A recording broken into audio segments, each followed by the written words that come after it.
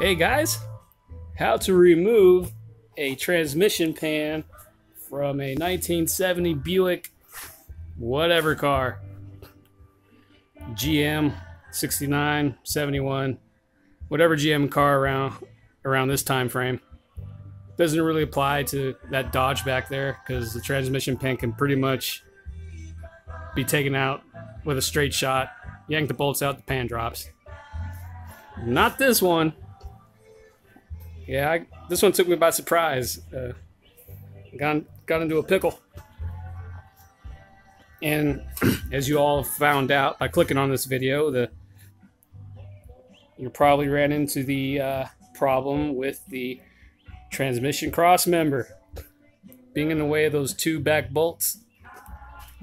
And I tried everything to get those bolts out. I tried, you know, offset wrench, flex extension, swivel socket. Nope. Kicking and screaming and cussing, kicking shit around. So I finally wisened up, did some research, you know, and I couldn't really find anything on YouTube that addresses this problem. I'm sure it's probably common knowledge to most GM gearheads, but uh, for those who are always afraid to ask, here I am telling you how to do this.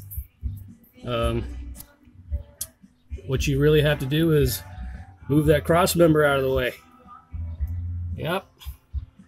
There's no way around it. I unless you got a special handcrafted tool to get to those two back bolts, you're not going to ever be able to get them out. So yeah, I gotta I had to uh, take, you know, the work's already done, sorry, but uh, I'm showing you here. I took these two bolts out. There's two nuts on the bottom, two bolts on the top, washers.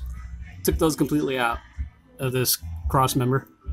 And on the other side, the right side, I just took those loose, left them real loose.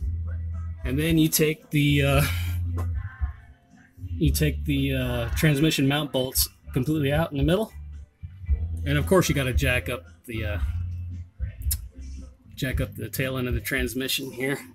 I used a wooden block, so it wouldn't ding up the back of it like put marks on it. So that took that took the weight off of the cross member, and lo and behold,